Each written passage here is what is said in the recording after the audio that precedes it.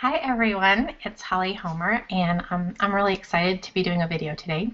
It's been a few weeks and I've missed you and part of it is I didn't have anything to say so um, I know that sounds like against all odds that I would actually not say something if I didn't have anything to say but um, that's why this video thing works out really well for me because you actually like I get to talk and you don't actually have to listen. You can either mute it or turn it off. I think my husband's a little envious at some points. But today I wanted to talk um, about some additional Facebook things. Um, if you haven't seen my earlier videos, what is wrong? Um, you know, we've been talking about kind of how um, the quirkymomma.com Facebook page has been growing. And some of the things that we've noticed while um, we've grown and through that growth, and then also some interactions with other people. So anyway, um, I wanted to start out with some um, kind of some really strange math ideas that um, I've come across since the Facebook page has been kind of front and center. Oh, and like yeah, things behind me are I like shoved everything into a pile, and that's why I'm like angled so crazily this way because yeah, you don't even want to look over there, so I'll save you from that. But things are falling down over there. Anyway, I'm going to um, go to a screenshot of our page so we can talk about this for a second. If I can remember how to do this, screen share. All right. so this is um, our page. Um, this is on, and Kids Activities blog um, Facebook page is actually quirkymomma.com. Long story, I'm not going to change it right now because things are going well, and who knows what Facebook will do if I change things. So anyway, I want to take you to these two posts. This is um, this happened just a few days ago, and I noticed um, that it was really, really crazy because these two posts, that Science for Kids, The Hanger and Balance, and the 12 Pranks for Kids, had both been shown to about 25,000 people.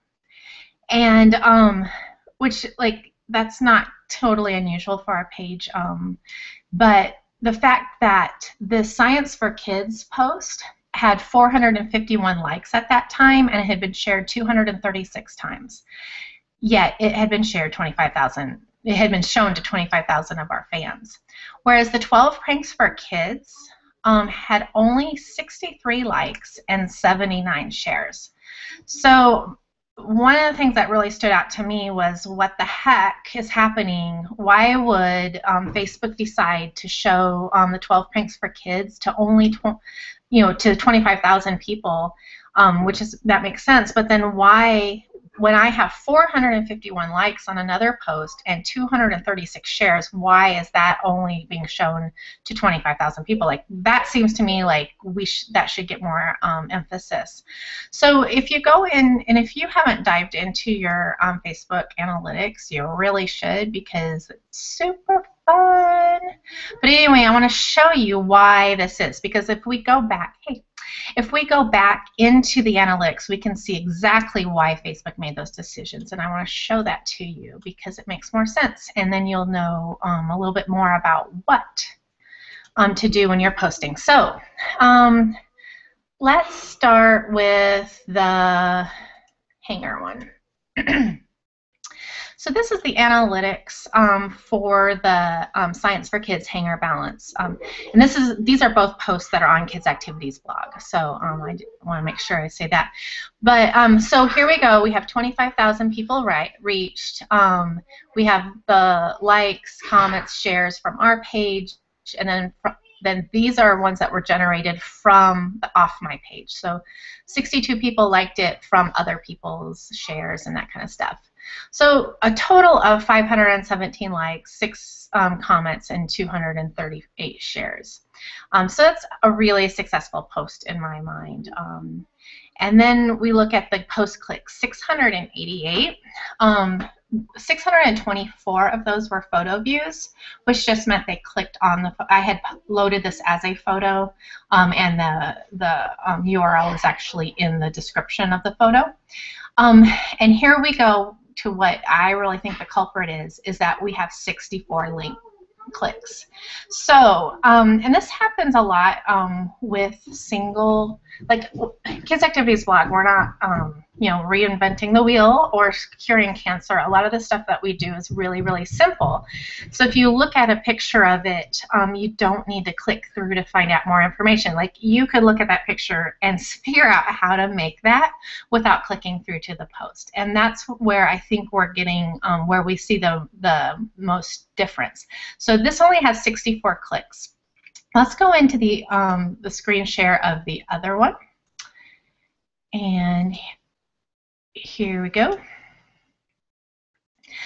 So this one, see, reached the same amount of people, has a lot less likes, a lot less comments, a lot less shares, but it has a, over a thousand post clicks, and 345 of those are to the post.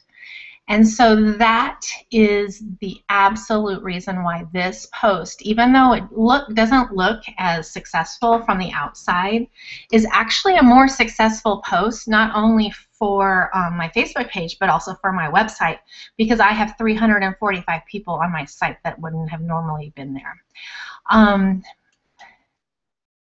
so that's what's so crazy about this is that any action on a Facebook post um, can create more views or it's being shared to more people.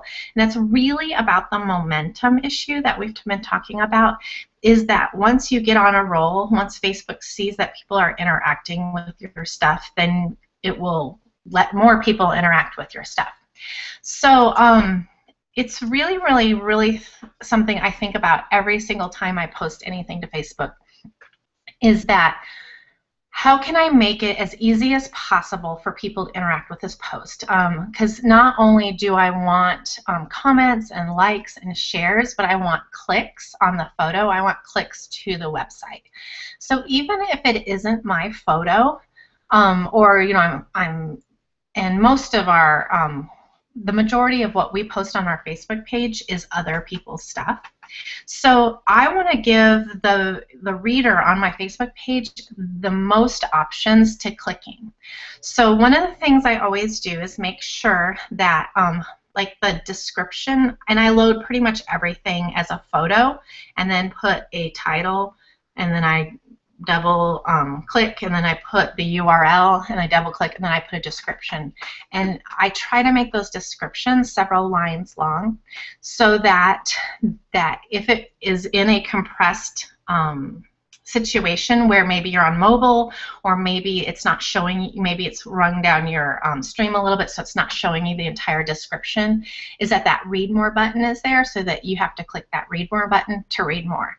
Because that hitting that read more button is going to be you know register as a click as an action that you took on my Facebook page um, clicking on it through to the post. So sometimes I may even use like a call to action, like click through to find out more information, or um, or you'll never believe number four in this, um, because I want to really engage readers in clicking through, not only for the benefit of whoever I'm um, promoting or featuring so that they get more website traffic, but also it does me good on my Facebook page because um, Facebook sees it as an action that one of my fans took. So that is what I want you to really think about consciously is that you want to pick the best and the brightest stuff to promote because that's going to get more attention and then you want to format it in a way that is going to call people to action. Um, it doesn't just have to be likes and shares as we have proved with our little math lesson this morning. So I put a call out in one of my Facebook groups um, for some questions about Facebook. And um, so we're going to go through these. So Megan, who is um, a Google Plus guru, hey Megan, um, she wants to know how to increase post frequency without dropping reach. It seems like after three posts, I can't keep the reach up. Do I hang at three for a while or post more and hope for Facebook to start including some more at some point? Right now, I schedule two a day and reshare a popular one from another page. Um, I think that's a really good strategy. Um, the let's talk first about um, the your scheduling, and um, I haven't been over to your page recently, but I do see it frequently. She writes coffee cups and crayons, and I am one of her active um, fans, so I do see a lot of her posts in my feed. Um, but one of the things I might suggest is to take the regularity off of that a little bit um, and maybe mix it up a tad bit and just see what happens. And you might, um, in fact, when we first started um, shaking things up on our page, um, and Rachel um, Miller, who's my blogging partner, was really the kind of the push to actually even approach Facebook because I had kind of given up on it at that time. But what we started to do is really think of the Facebook growth page, you know, growth stage of of your page differently than what you would think of as like another social media share. So for a short period of time, and for us it was probably two months, we didn't even use Facebook to drive traffic back to the website. That was not our primary goal. Our primary goal on Facebook was just to get Facebook interaction, get Facebook likes, get Facebook um, comments, grow our Facebook page. And we didn't care to a certain extent. I mean, I'm always looking at stats on our, the blog, which is the ultimate goal. But for that point, um, Rachel and I have a book coming out in the spring, so we really felt like that our Facebook um, you know, kind of clout was more important than even the traffic um, that we would send back to the site. So we went out and kind of tr treated it a little bit like Pinterest or even StumbleUpon or um, Digit where we went out and really looked for like the best content out there that we could find, the most shareable content, the stuff that people would be like, um, I have to share that. I've never seen that before. Um, and as bloggers, we're in a really unique position to find a lot of that stuff that the general public can't because we're in the middle of it all the time and we have friends that write it and we know people who post it and we know where good um, Pinterest accounts are and that kind of stuff. So that was one of the first things I would suggest is maybe go out and um, and you it's kind of twofold because you want to create a fan base that likes your page. So you don't want to like go out and find like crazy stuff that's going to get shared but then has nothing to do with your page because then you've created a bunch of fans that when you start posting your own stuff is going to go, well, what's that? So um, I kind of use the you know, crap, I wish I wrote that test. So like if I'm on Pinterest or if I'm on Google Plus or if I'm on Facebook and I'm like, crap, I wish I wrote that, that is definitely something that I need to share on my page because if it's something that fits my blog so well and it's such a great idea that I like man, why didn't I think of that first? Then that is a definite share. That goes to your page. Your fans are going to love it because you love it, and um, it's better than the crap that's on your blog. So it's kind of like a bonus there that um, you're going to get credit on Facebook for finding these amazing ideas um, when all you really did was wish they were yours. So, um, so I would first do that is I would make sure that whatever you're sharing is stellar. And I think you're already doing that with your um, share from another page. Um, I happen to know that um, you're watching, and this is so smart, is that you watch other pages that are similar um, to yours and you find out what does really well on them, and then you share that. And if you have a small page and you go to a larger page where that um, post is doing really, really well, and you share it from that page to your page, um, we've seen a lot of good things happen from that. For some reason, because that post is doing so well, Facebook sends some karma with it to your page. So where your page, if you had posted it like as a photo with a description link and all like that, like your normal things on your own, it would actually get less views or exposure than if you shared it from a larger, more active page. Now, um, my page does not do a lot of shares from other pages and the reason is is we have found it less successful but we know from you know lots of testimonials that um, when we have something that is going crazy like if all my friends go out and share it on their pages they get some of that crazy um, exposure on their pages too and I really think it has to do with the talking about numbers. Um, if you see the talking about numbers, and let's, um, I think I have a picture of that here. So let's look at that real quick. So here is the top of our um, Facebook page. And you can see um, when I took this, we were at 182,000 likes, um, but our, our talking about numbers are going in 141,000. Um, now that's pretty good um, for a page to be um, nearing, you know, be it's like 75% of my total fan base is talking about me. Um, now there's other pages which I covet, which would be like the Happy Wives Club, who have like I don't know, she's probably up to a million followers now, but her talking about numbers will be two million plus on a good week, which is insanity. I'm not even sure how she does that. I like stalked her at a conference recently to find out, but um, but for some reason, those talking about numbers are really, really important in the shares. So if I can find a page um, that is applicable to me, um, and like for me, that might be Teach Preschool or um, or some of the other really big um, Facebook pages that are really, really active um, with a high talking about number, then when I share from their page, it does the same. It sends me some karma with it. And let me talk for just a minute because this is another question that I got asked um, outside of this is if I share if I post something and then you share it um, you are not going to um, see very many shares on your um, on your post on your page. Um, Facebook seems to like attribute all those shares that you may have generated back to the original photo because you're actually sharing a photo so that photo is traveling to your Facebook page and so all those shares are from that photo. Um, so one of the things I do is like if I do share from somebody else, I will kind of take a mental note at what the number of shares were before I share it, and then I can go back and see like how many I might have generated.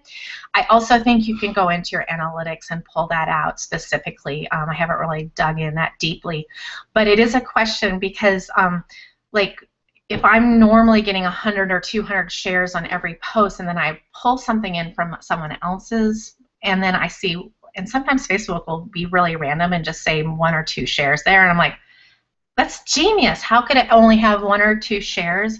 It's because um, if you clicked through the photo, you may see that there's an additional 200 shares that you may have generated. Um, so anyway, you can kind of um, ride that wave of popularity by um, strategically sharing um, other people's stuff. Okay, so Christy um, asked me how to kickstart her page reach. And so this is really where we go back to um, finding the best and brightest. And I didn't finish Megan's question, so I'll do that in a second. Because um, if it is just stuff that can't help but be shared, that is the stuff that's going to start reaching out um, and giving you more and more fans. Um, so in Megan's situation and in Christy's situation, where they're building their page, um, I'd take the traffic to your website out of it. Um, you might, in fact, I would suggest going back to your blog and finding maybe your top 20 viral posts, like things that did really well on social networks in the past. Pull maybe those out once a day. Um, pull in some just amazing stuff that you wish you wrote, um, and then sharing some stuff that is amazing and doing well on like pages. With the timing, um, I would play with that a little bit. I would because there is a momentum. So let's say, and that's one of the reasons why scheduling doesn't always work when you're building a page. Because let's say you post something at 6 o'clock in the morning that does really well for your page. If you were watching that and you weren't just scheduling it ahead of time, then I would go ahead and post something else amazing at seven or eight or nine to follow up on that. Because what you do is you, for some reason, you get a little extra karma for the next post. So I would kind of suggest I know this is not a very popular thing to do, but we actually did not schedule our Facebook page at all for I think it was maybe two, maybe even three months at the very beginning because we needed that ability to jump on and change things. And if it was a post that completely bombed, I'd delete it because we don't need that ugly karma on our page. And if it did really well, we'd follow it up with something similar. And that's the other thing is once you start seeing, oh, like, oh, like I've noticed that between 10 and 11 o'clock every day, my fans love to learn about organization. Now, we don't we need to write more things. So this is a place where I go out and go, crap, I wish I wrote that. Um, but anyway, so every day between 10 and 11, it is very likely that you're going to see an organization type post for the home or for kids or whatever on my Facebook page. So when you start seeing those trends, you can start um, exploiting them.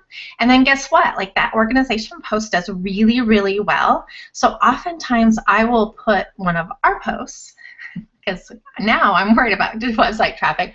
But I'll follow it up at 11 o'clock with one of our posts that may have done well in the past. So I can ride the wave of that organizational frenzy into something that benefits us. Um, the other thing that you might think about doing is um, is deleting things that don't do well. I, I don't think you know this is not Facebook is not set in stone. You can go in and, and change that. Try something else. If it doesn't do well, delete it. Um, and the other thing is maybe space it out. Um, like if if if you just over and over again hit that third post and Facebook will not show it to anybody else, I would change the times completely. Maybe put that third post in the middle of the night, um, you know, and think about what season it is in the middle of the night, like on the other side of the world. Um, you know, make it something that would be applicable to people that aren't necessarily on your time zone. And I mean, really, really playing with it is is what I can recommend because that's how we ended up with. I think we post like 18 times a day now, and um, and it works for us. Um, and I'm slowly backing off on that because I'm getting better at choosing things that I know my fans will like, but um, to maintain that reach. All right, so um, Erica says, how do I get more likes? I love that. okay, so the secret is you need to generate the first few likes. Like you need to figure out, you know, like you email all your friends, you like call on every favor, all your blogging friends, they all need to like your page, okay?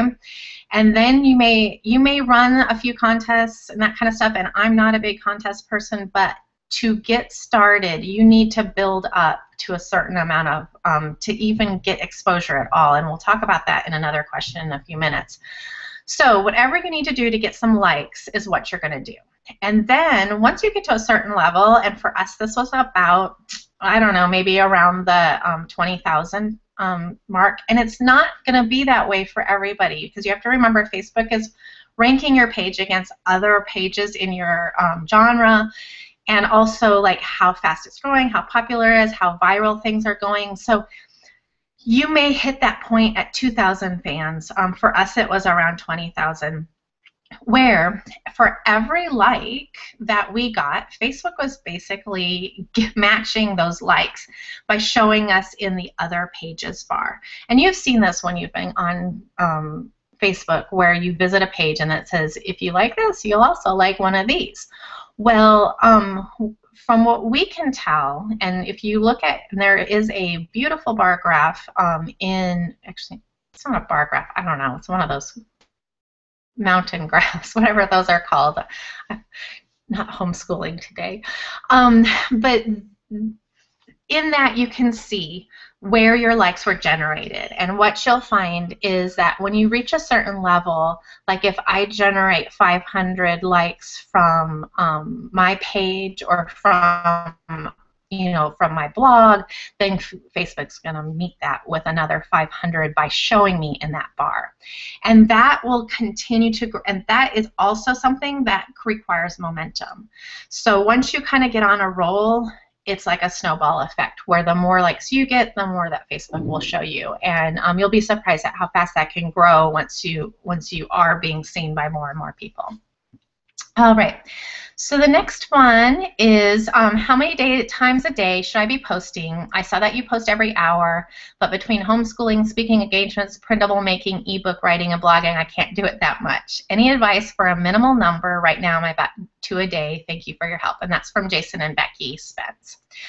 Um, yeah, so um, the pretty much you want to start as you go because once you get to a certain point, um, you can't really back off. And um, that's fine. Like I'm on a treadmill that is really an hourly posting on Facebook, and I'm okay with that because it is generating a massive amount of traffic um, to my blog and getting us more likes every day. So for me, it's worth it. But for you, if you are only able to spend five, ten minutes a day, then I would be really strategic about that. Um, and you know, you're gonna, you will not be online to make those snap decisions of adding an extra post or deleting something. So you're gonna have to be really, really cautious about what you choose and make sure it's amazing, and then put them into the number of spots.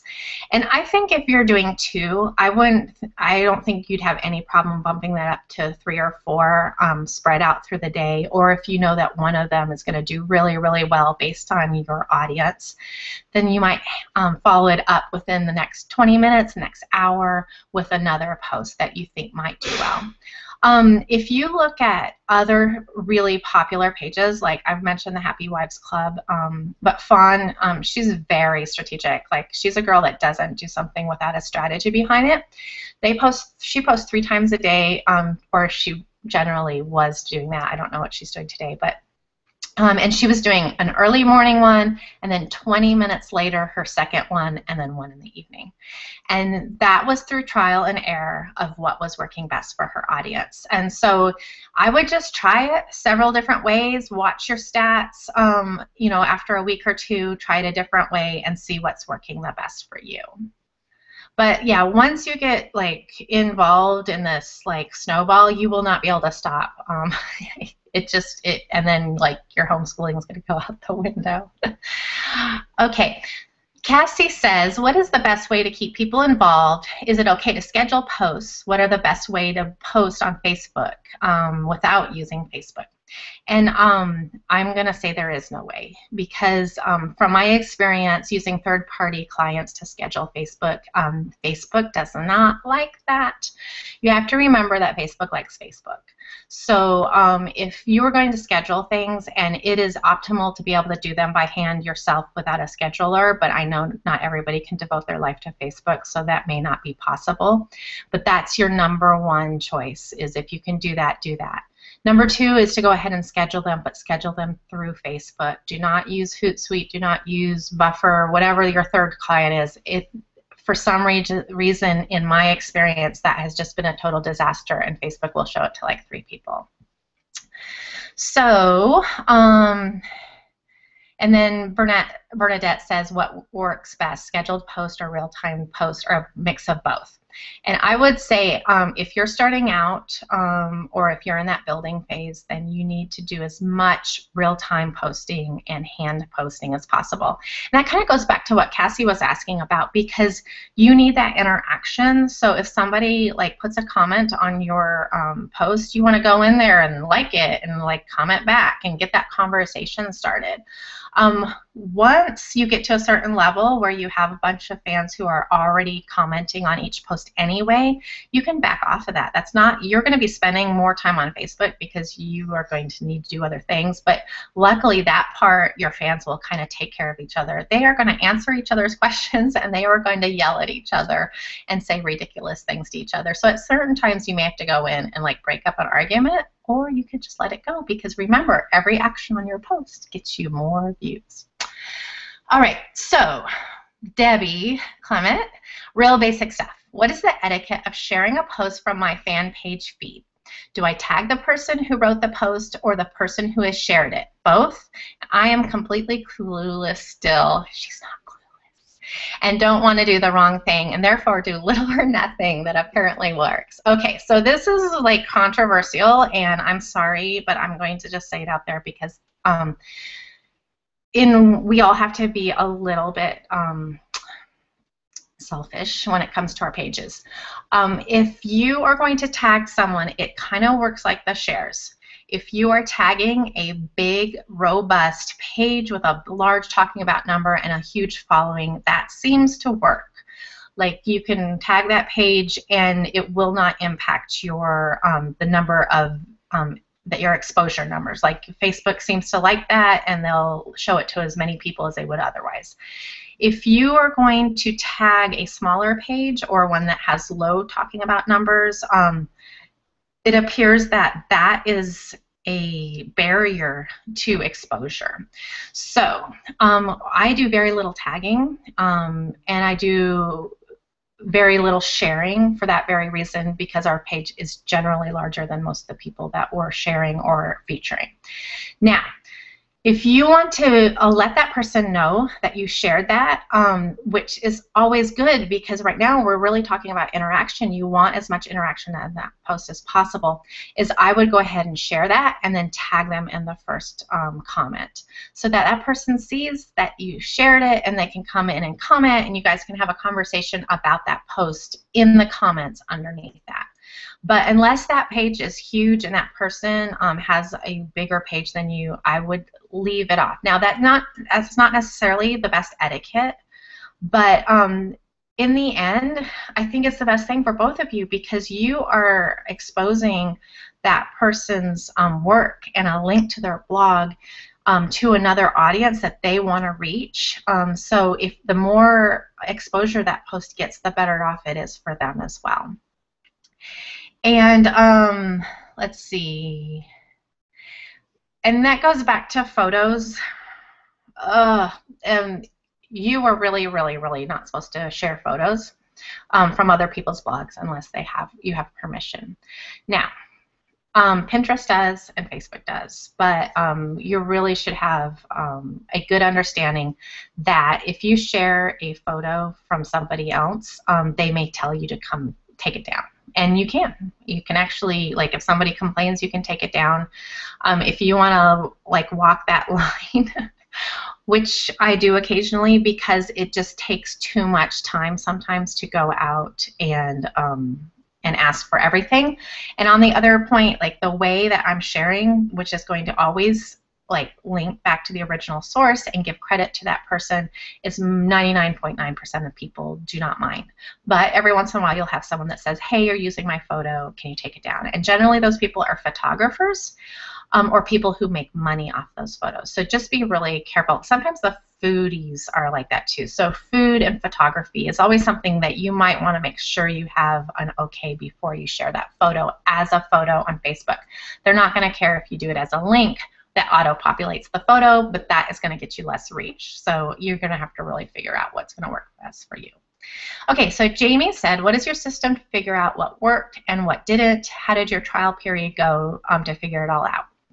Like I said, it was probably about three months that we scheduled things by hand for the most part, unless we were going to be out of town or something like that. And um, at first, we were really, we didn't look at our stats hardly at all, and we just threw out stuff um, that we thought would do well. And then as, and it did, you know, if it did, if it tanked, we deleted it, and then um, we just kept learning and like kind of taking mental notes. Um, one of the things that I do, and you're gonna laugh because this is like the lowest tech thing ever. But I, this is my Facebook notebook. So every day I have like Friday, March 21, and 6, 7, 8, 9, 10, 11, all the way up to um, 9 p.m. is generally what I do, and then I may put in a later one. And then on the back, I have notes about what did well and what didn't. Like, and sometimes I'll say like, gosh, this got a ton of exposure or this did really really well. Um, so anyway and so here you have my next page and my notes from the next page and so on. And so this has been really, really helpful in me keeping track of what's doing well. Um, and then I've learned where to put our own posts that so that they do well. Like I know that a roundup generally does really well at 9 a.m. and it usually, especially if it's a toddler roundup or a preschool roundup, which makes sense because moms are home after dropping older kids off at school.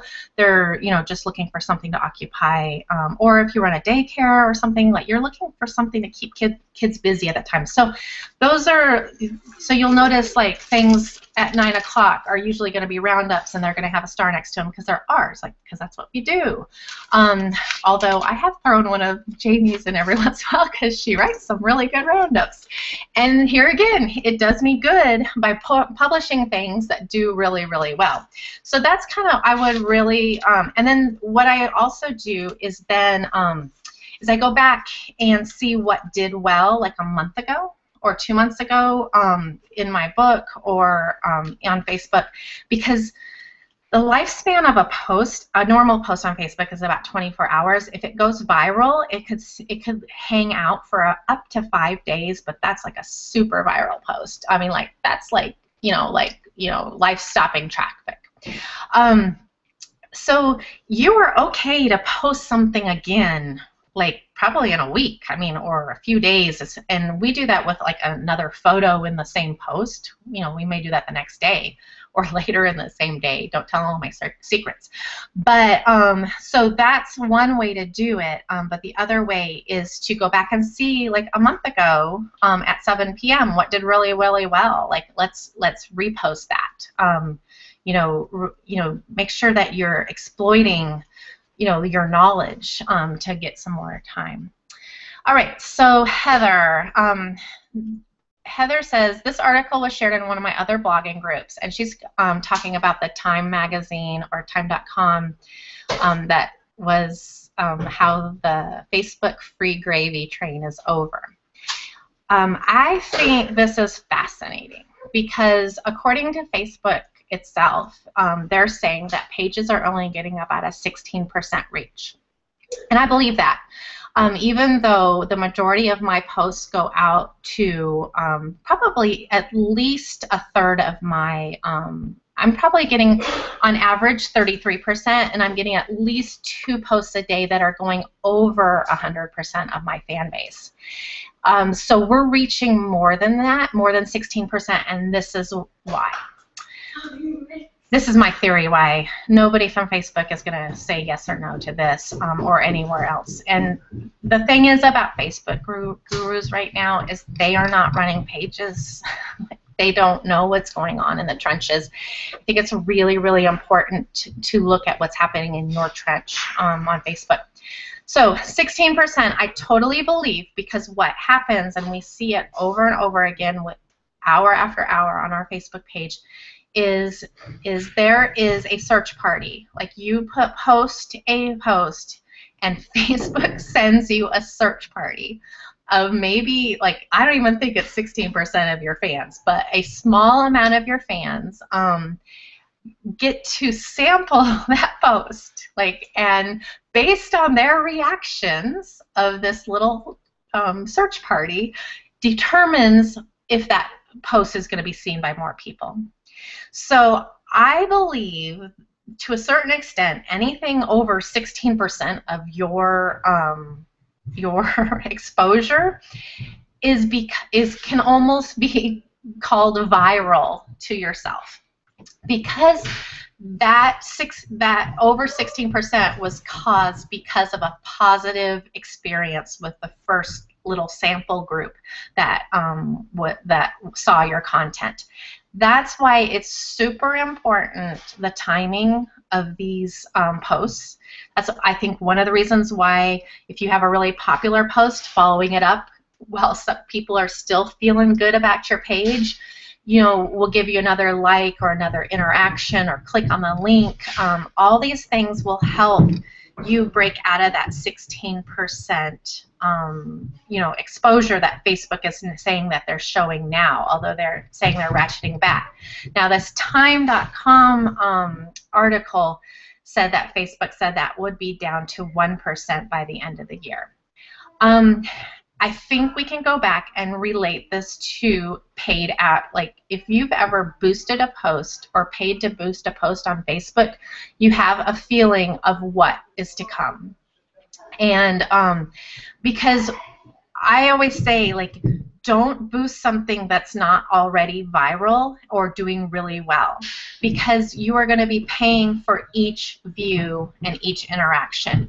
Whereas if you choose to boost something, I would boost something that's doing incredibly well on your Facebook page because what will happen is you will reach those people they are going to share it and do you know and and then you're going to get a whole bunch of secondary um, exposure based on those paid things. And i think that's what we're really looking at is down the road is that search party is going to get smaller and it's going to be really really even more important that that search party is larger. Like that's I think that's why numbers are so important on your Facebook page because you want that search party.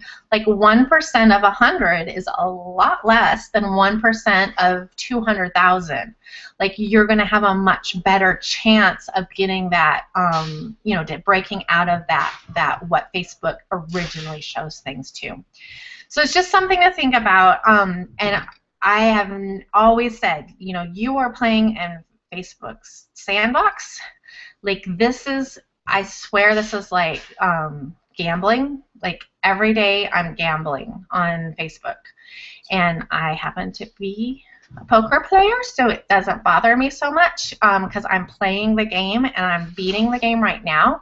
But Facebook is dealing the cards, and they can deal super crappy cards in the future, and that's why I don't know that you want to like devote your life to Facebook um, if you have no other things going for you. Um, I, you know, Facebook is not is well, I guess right now is probably our largest referrer source to um, Kids Activities blog, but we still are working on Pinterest and search engine and Google Plus and um, you know, not so much Twitter, but but I mean like this is not all our eggs are not in this basket. Um, if Facebook goes away tomorrow or cuts me back to 1%, it's not like I won't cry, but we have, you know, it, it, we are working on this with the knowledge that we don't know what tomorrow holds. So I think like, you know, for those of you who are devoting a lot of time starting out, like that's just something to think about. You don't want to get yourself into a situation where you're like sent to a Facebook depression, which could totally happen. So, um, all right, so Lizette says, engagement question tips. I respond to a reader comments on photos and posts and can get a conversation going, but on my regular um, post, that it's met with crickets. And I think this has to do with the numbers. Um, I really do, because early on we could only get kind of comments um, when we asked a direct question. And when you ask a direct question, ask something easy and like something super easy, like where are you from, or how old are your kids, or like depending on what your genre is. But if you like, I mean, I used to ask questions like, what are you making for dinner? Like that's a hard question. I don't even know what I'm making for dinner. Or like more when you say like what what did you wish somebody else made you for dinner? Something like something that's fun and like people can't even stop themselves from answering. Um, on the um, regular posts, number one um, that can always get you some interaction is controversy. And like Kids Activities blog, we're about as controversial as toast except on Facebook. And um, it is shocking how controversial we are on Facebook. And it's because people are very passionate and will tell you exactly what they think on Facebook. So um, we first noticed this with like we um, popcorn. Um, popcorn's super controversial. I guess like um, you know people pretty much think you're killing children when you put a popcorn recipe, and they'll tell you so. So all of a sudden, like you'll go you know, if you post something semi-controversial and you want to make sure that's within your genre and not against your brand, like I would not like put up like, do you spank your kids? Because that's not our brand. But like putting up something that has artificial food coloring is super controversial. I know that sounds crazy, but like people are so passionate about that, and we will get 50 comments of a whole bunch of people jumping on the pro and con bandwagon. Um, and so if you're aware of that, use it to your benefit. Like if you need your talking about numbers up, like if you haven't posted anything, you know, like walk the line, you know, go get a little crazy. Put a coloring page. Coloring pages are controversial. I know you don't know these things, but you'll know once you start growing your Facebook page. All right, so um, I'm going to keep looking here. Um, I think I have just one more question. Oh, okay. Um, Jody said, um, I've noticed that when you have been sharing, that you haven't been sharing everyone else's Facebook posts, but rather creating a new post which includes a link and uploading a picture. Do you have to get permission to upload a picture from the blogger? Is it okay to upload the upload the picture without permission with proper link, of course. Is it helping to reach that way? And so, yes. And um, in general, like a lot of people are coming to our Facebook page and sharing their activities, which I love, and because that's super helpful to them. Because some of my fans are going to see that, whether I see it or not, because it's going to be in my sidebar. But also every day I check that, and I pull stuff from that stuff every day. But I know my fans, and I know sometimes the photo that you shared with me is not the photo that's going to resonate the best with my fans. So I'm going to go to your post, I'm going to read through it, make sure I still love it, and I'm going to choose the photo that's the best for my fans. Now, if that makes you upset or uncomfortable, then do not post things to my Facebook page. Um, and I'm totally cool with that. Like, I can understand you don't want me choosing um, a photo from your, uh, but if you are going to write, you know, if you're going to write me and tell me to take the photo down, I totally will but I'm going to send you a boatload of traffic. So like it's really up to you what you want to do.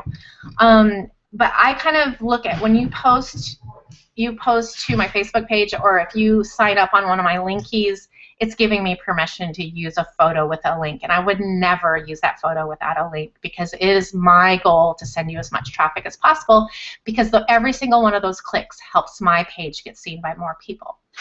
So I would, you know, if you are nervous about that, or, um, and I will tell you from ex- personal experience of having someone else, um, a, a huge page online that steals my stuff on a regular basis. They steal our photos and I know many of you know who this is. Um, they steal our photos. Do not put a link, which is stupid. They would totally get way more reach if they put those links in there, but they don't.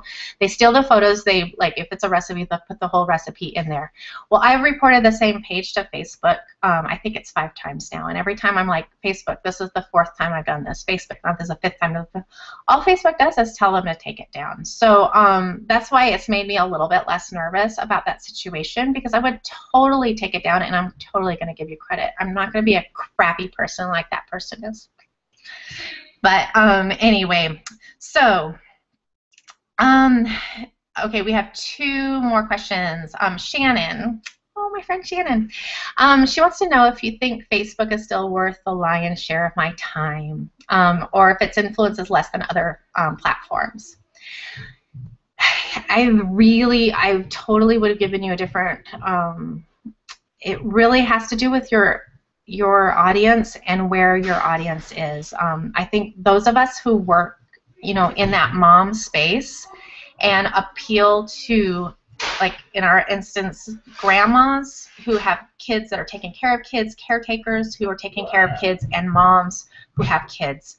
Um, they're still on Facebook. I mean, yes, they're on Pinterest, um, and Pinterest is, you know, I certainly wouldn't say do Facebook instead of Pinterest. I think you need to be both places if you're appealing to moms and you have a visual blog. But um, I know everybody's you know down on Facebook, but until you have a post go viral on Facebook, you do not know what viral means. I mean, we had some viral pins that sent us hundreds of thousands of um, you know page views in the early days of Pinterest. But I had a post that got a million hits from Facebook um, over a week. So like, and that wasn't from my page. Don't get me wrong, but that you know, the Facebook is still alive and well and generating serious traffic. Um, and so I don't think you can just discount it um, unless you want to. I mean, like if you don't want to spend the time, I totally understand. Like you have you have other things to do. But if you are really wanting to be everywhere that you can be to send yourself traffic and to set yourself up with influence, I think you still have to do Facebook. Um, just like I'd say you have to do Google Plus, and just like you have to do Pinterest. So um, and it is totally cool to just choose two of those or one of those and really, you know, be an expert in that. Um, so that may, you know, that may not be Facebook for you, but um, it does. It is like I said, it's like gambling. You will spend a lot of time and hopefully it will pay off. Um, and I can't say it will 100% of the time, but you have some good strategies. Like, you know, you have a lot of people around you that are doing well on Facebook. Um, all right, so Jody, and I'm going to end with this question because I love it. Um, it says, Holly, scrolling through your Facebook page is almost scrolling like through a Pinterest feed. I love it. And I know that's not really a question, but I love to end on that. And that's really, I want to say I love that question so much because that is what we're trying to achieve here. Is yes, a lot of those moms are on Pinterest, um, but a lot of them just want to be on Facebook and they want all that amazing content that um, you would find on Pinterest brought to them in their stream on Facebook. And one of the reasons, and, and this goes back to Shannon's question, one of the reasons why I love um, our Facebook fans so much is I will post something to Facebook, and first of all, like it's instant gratification. Like people like jump over there to our blog post immediately to read it. But then if you like hop over to Pinterest like five minutes later and open up your source code, you will see a ton of pins of that post. And I that's what makes Facebook so special um, as a social media network because on Pinterest, if I pin something and it goes crazy, I don't see a whole bunch of Facebook posts of that pin. But on Facebook, when a Facebook post goes crazy, those people go over, those readers go over, and then they put pin it.